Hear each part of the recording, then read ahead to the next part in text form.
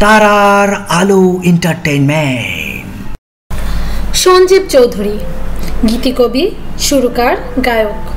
মস্তিষ্কে রক্তক্ষরণজনিত কারণে দু হাজার সাত সালের উনিশ নভেম্বর রাত বারোটা দশ মিনিটে তিনি মারা যান।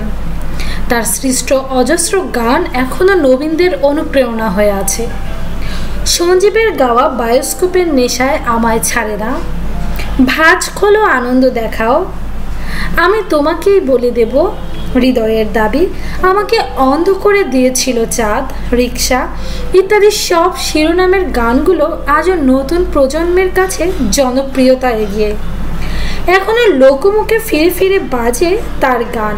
নানা অনুষ্ঠান, কনসার্টে নতুন প্রজন্মের শিল্পীদের মুখে শোনা যায় এসব গান। গানের মানুষ হিসেবেই সমাদৃত হলেও দারুণ মেধাবী সঞ্জীব চৌধুরী পেশায় ছিলেন সাংবাদিক। হবিগঞ্জ জেলার বানিয়াচাং উপজেলার মালাকান্দি গ্রামে উনিশশো চৌষট্টি সালের পঁচিশ ডিসেম্বর জন্মগ্রহণ করেন তিনি।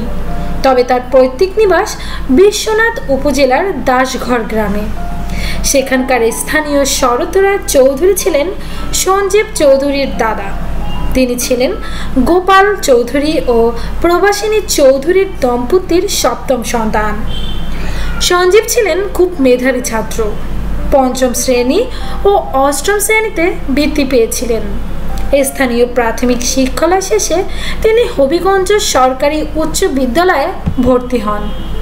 সেখান থেকে তিনি উনিশশো আটাত্তর সালে এইচএসসি পাশ করেন। দারুণ রেজাল্ট দিয়ে সবাইকে চমকে দেন। পরে তিনি ঢাকা কলেজ থেকে এইচএসসি পাশ করেন উনিশশো আশি সালে।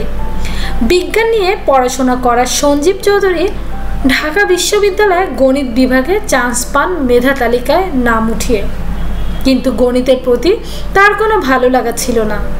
তাই বিষয় পরিবর্তন করে ঢাকা বিশ্ববিদ্যালয়ের গণযোগাযোগ ও সাংবাদিকতা বিষয়ে স্নাতক ও স্নাতকোত্তর সম্পন্ন করেন আশির দশকে। ছাত্র থাকাকালীন বাম ঘরানার ছাত্র রাজনীতির সঙ্গেও যুক্ত ছিলেন তিনি। উনিশশো উনআশি থেকে আশি সালে তিনি ঢাকা কলেজের ছাত্র ইউনিয়নের সাধারণ সম্পাদক হিসেবে নির্বাচিত হন। ঢাকা বিশ্ববিদ্যালয়ের ছাত্র ইউনিয়নের সংস্কৃতি সম্পাদকের দায়িত্ব পালন করেছিলেন সঞ্জীব চৌধুরী। শিক্ষার পর্ব শেষ করেই দৈনিক উত্তরণ পত্রিকায় যোগ দিয়ে সাংবাদিক হিসেবে ক্যারিয়ার শুরু করেন। পরবর্তীতে তিনি দৈনিক আজকের কাগজ, দৈনিক ভোরের কাগজ ও যায় যায় দিনসহ বিভিন্ন দৈনিক ও সাপ্তাহিক পত্রিকায় কাজ করেন।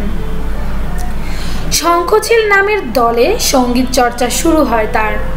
তিনি পিঙ্ক লয়েট বব ডিলানের গানে প্রভাবিত।